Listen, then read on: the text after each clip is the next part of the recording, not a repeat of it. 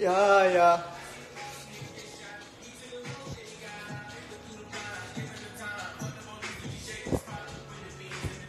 Yo, you want to run these ads up in a sec? Yeah. I literally have everything put. Huh? Yeah, I'll, we'll share it right now. Earn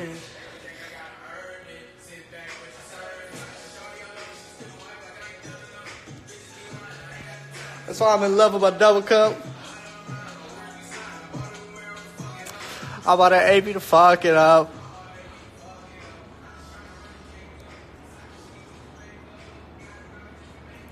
Cause I'm trying to fuck the face up. I've been fucking with a Richard. Oh, look at this You guys. Oh, look at that sunset.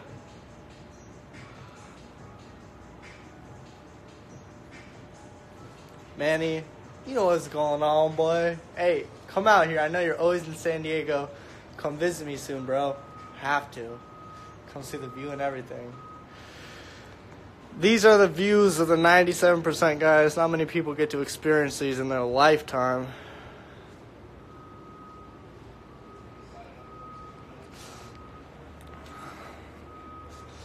Oh, there's Tai Lopez. Tai Lopez. Skip ad. Ha! This person said we're on our way. Okay. We're on our way, they say. You're fucking hilarious. Uh, hey, just look in the sky, you know where I'll be. this view, guys, it's gorgeous. I was actually putting in my goals a couple months ago before I got here. I will live in a penthouse before my lease is up at my old apartment. And I did right before my lease got up. I locked this place in about two weeks before. Got in here, guys. Trust me, I wanted this building. I wanted to live here for a very long time, and it took a lot of hard work. Overall, it took a lot of consistency, guys. I was living in like not the ideal place I wanted to live in. Like I lived in a nice apartment and everything, but me, I always wanted more and more and more. So with me, I was like, all right, what's the next move? How am I going to be living in the environment that I want to be in? And you guys need to think of it this way when you're living in a wealthier environment, you have to know and realize that people around you are going to be wealthier. Look at this, guys. So, all the way at the top up there, there's a penthouse on the 34th floor. And you need to realize that that's 20000 a month. That's a lot of money you have to be paying a month to live here, especially in that unit. But overall, there's already people that are already on a higher level as to where I want to be and there I can connect with them. I can learn from them. I've already met a guy that has a Lamborghini Huracan down here, so like he obviously is doing something right to be in that car. But the reason as why I put myself in a wealthier, more expensive environment is so I can be around people that are already above where I am. And there's a rule. It says it's a 33% rule. Basically, it says th- spend 33% of your time with people that are below you, so you can like educate them, you can help them out and then spend 33% of your time with people that are above you, maybe like a couple of years above you, and then you want to spend your time with people that are like five, ten years above you. So you get the 33% from your friends that are below you, the ones that are barely above you, and then the ones that are really above you. And that's what you guys have to be doing. Like someone said, the power of association. That is so true, guys. You constantly need to be around the right people, and I know is like when um when I was um, first getting involved in the entrepreneurship, it was really hard to find the right people that to be around because a lot of people are above me and when people are already above you on a higher level they don't really want to come down to the level that you're on so it was hard because i was with my friends who were like on my level but at the same time they're below me because they didn't have the same mindset that i had and it was hard. I, I didn't know what i was going to do but i ended up cutting a lot of my friends out. Yes fr- friends. They just wanted to party and stuff but they didn't want to get the work done that's when I really realized that my friends honestly didn't give a fuck about me. I took everything serious. I took my business serious, and I asked most every single one of my friends, "Hey, do you want to join this business with me? I'd love to work with you and see what we can do together, other than like having fun and stuff." And none, zero. There's maybe like one or two of my friends that actually joined the business with me, they took it seriously, and they're still consistently working to the day I am. So you guys need to realize it's lonely at the top. People don't want you to win. Like, honestly, guys, think of it this way if you're in your friend group, wouldn't it kind of affect you, bother you in a way, if you saw one of your friends who was all of a sudden doing way better than you? He had a way nicer house, he had a way nicer cars because of efforts that he put in to get further. It really does. A lot of my friends hated me. They stopped supporting me because I was doing better, but I had to sacrifice things so many nights, so many parties, all these adventures. I had to sacrifice even family parties, being with my family and stuff. And it was hard, but look, that's why I am where I am today because I made these certain sacrifices to be where I am today. And a lot of people nowadays, I watch it every fucking weekend. These people are so concerned about the next party, the next club that they're going to go to. Just like they're always looking for that short term high. They're looking for that little excitement they're going to get for a couple of hours being with their friends. And then they're going to wake up the next morning feeling like shit, probably regretting the night before, spending a lot of money. I know I've done that so many times before. And really, guys, the law of attraction is the biggest fucking thing. You guys need to be around the right people. And like I said, I didn't have many friends when I was first starting out my entrepreneurship. That's why I had to cut people out. I had to do things like self development. If you guys cannot be around people that are on a higher level than you, what you could do is self development. Reading and getting advice from people that are already successful, like Tai Lopez, like Gary Vee, like Bob Proctor. Those are a couple of people that are huge in the industry. And obviously, they have the results that you want. So it might be hard to actually get that personal connection with someone and you just have to do it. You have to get your face out there. So, guys, realize that where you are today is not going to define where you are tomorrow. I know there are so many nights where I fucking literally cried, worked my ass off to get to where I am now, to live this type of lifestyle. And you know what? Do you know what? This is a pretty nice view if you ask me. And the thing is, too, I have my own junior penthouse and I look at my friends, they're still living at their parents' house. Okay. And those people that are below me still want to talk shit, act like they're on a higher level than me, but like at the end of the day, results fucking people lie, bro. Results fucking talk. That's why they say people lie, men and women lie. Numbers do not lie. At the end of the day, I can show anyone the amount of money that I make. And that's because I make that certain amount of value because I am bringing a certain amount of value to the marketplace. You are paid for the value that you bring. People bitch, they complain, why don't I make this amount of money? Why don't I do this? Why don't I have my nice house? Because you guys aren't bringing enough value. We, as human beings, think about ourselves 99.5% of the time. We do. I mean, look at this way. When we go take a picture, let's say that I'm with Drizzik in here. I'm with Nando. I'm with UMX. I'm with Mar. I'm with Jay Large and Carlos. Let's say we all take a picture, right? After the picture is taken, the first person that I'm to look at, myself. What if my eyes are closed?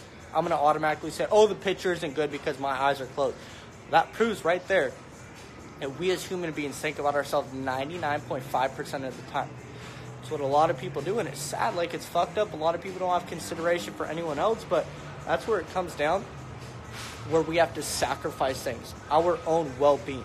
You put, I was actually at church the other day, and it said that you're supposed to put God first, then your family, then your business. Because if you have God, He's going to be there to watch over everything. He's going to make sure your business dwells. He's going to make sure your family is all right. It's really coming down and sacrificing and sacrificing the parties, that the fun you have, and there really is nothing that you get out of party not doing anything throughout the day. There's no accomplishment being made, no progression. We as humans, all right, buddy, we don't need to hear your nonsense. You could just leave the feed. But we as human beings, we've what are what we get real happiness from is progression, seeing ourselves grow on an everyday basis, doing things that are going to help us get to the next level in life. And whenever I put in work, I do something differently, and I am done at the end of the day working. I'm like, shit, like I made a lot of progress today. It makes me happy. When you are happy, it lets off endorphins in your brain that actually tend to make you even happier. So when you're progressing at a higher and higher level each day, you're going to keep getting happier and happier and happier, meaning that you're going to be performing at a much higher level as you wouldn't be able to do if you were like sad, you were depressed, you aren't focusing on things that are to get you further in life. And it's hard, guys. Like I said, the greatest thing that I ever did was separate myself from the people who didn't give a fuck about getting further in life. And it, it's hard. That's why they have the 3% and the 97%. Like, people do not want it as bad. People talk the talk. They will say, oh, I want this, I want that, I want that. Like, that's cool. Where's the action and the work that you are going to put in to execute on those goals? So at the end of the day, when you see me in this nice house and you're like, damn, how did you do that? I sacrifice things. I put in work to get to where I am today. And I had to do things differently. I fucking observed the masses. I did the complete opposite. Yeah, you guys saw me at the club. Did you see the other night when I was at the club? I said, spend 3% of your time like the 97% and spend 97% of your time like the 3%. Do you guys, I'm sorry to say it, but a lot of you are not doing and putting the disciplines into your life that the 3% have. Reading, doing self development every day. Are you joking? When people get off their nine to five job, they're so fired up, so pissed off, just tired of the day doing shit that they hate all day, that when they come home, their decompression time goes into watching TV, sitting on the couch, bitching at their family because they're already upset. They're not doing things like working on their fortune a lot of you, you just come home, you watch TV, you play video games, and you expect the next day to see a result that you didn't see the day before, but you're really not sacrificing doing things that you're not willing and will put you into uncomfortable positions. When you are uncomfortable, you learn things about the, you learn things about yourself that you never knew. You honestly do. When you're, it's just like saying, how are you going to know if you don't like seafood? How are you going to know if you don't like burgers or pizza without trying it? The best way to figure out what you do and you don't like in life and what really works for you and doesn't work is by trying it. You have to try all these new foods to see, well, like, all right, I don't like fish. I tried it. It's not for me, but I like burgers because I tried that as well. That's what you guys need to do. It's it's going to be a difficult road for a lot of you that are starting your entrepreneurship and trying to progress, but really just be around the fucking right people. Your time is so valuable. Even if you don't have that much money you're being made with your time or whatever it is, your time is something we never get back. You honestly never know what you have until it's gone. We can all, like, what if I died tonight? I would die and I would be a happy person knowing that I brought so much fucking value to the marketplace. I have helped people get what they want in life. I have put people in uncomfortable positions but made them into a better person than they were before they had met me. That's what it really comes down to is developing all these skills and using them in the right way to affect other people. I can make millions of billions of dollars, but at the end of the day, at the end of the day, what is my real duty? Your duty as a human being is to give back. That's why with my money, like I want to make money. Money is a beautiful thing. But with the money I make, I can use that to build charities. I can use that to build skill- schools. I can use that to retire my parents. You can do amazing things with money. That's why it's such a beautiful thing. But if you focus on the whole money making aspect, the real core reason as to why so many people make so much fucking money is because they are bringing real value. If you constantly put yourself in the mindset of, I want to make money, money, money, money, money, money, you're going to basically manipulate yourself in a way to thinking, I want to do things that are going to make me money. And then when you don't make any money in the process of trying to make money, you get a little discouraged. You think to yourself, all right, well, what I'm doing isn't making me money. I don't know if this is like what makes me money. You need to be focused on the value. What can you do for another human being to where they can pay you? We were in the park earlier today, and I like, there's this homeless guy, and I think it's fucked up how a lot of people ignore homeless people and they don't talk to them and have conversations. Like they're humans, like they might have some psychology problems or mental health issues. It really doesn't fucking matter. But my buddy, like, we pulled up on this guy and we started talking to him. He's like, "Hey, do you want to buy a knife?" And he, my buddy's like, "Yeah, sure." And they like looked at the knife and he bought it off him. He bought it ten dollars over two. He bought two knives for thirty dollars. A homeless guy wanted, and he gave him like forty five dollars. And that's simply because he had something that my friend wanted. He had something of value that attracted him, and that's why he made that sale. And in return, by him giving value to my friend, he was given money. This guy's trying to get his Visa card or he was trying to get like some card, citizenship card, I think, or something. But now he got that. He has like the money he needs to get to where he wants to do, and that's simply by him bringing value, doing something different, guys. So I'm gonna get off this, guys. But if you guys don't know me, if this is the first time you've heard me talk, message me. Let's connect. Let's talk a little more. Let's get to know each other and see how we can benefit each other. But guys, uh, look at this view one more time. These are views from hard work, guys. I've always wanted to live in a penthouse like this my whole entire life, and now I'm able to do that at fucking 21 years old because I sacrificed things, I hung around the right people, and I did things that the 97% won't do.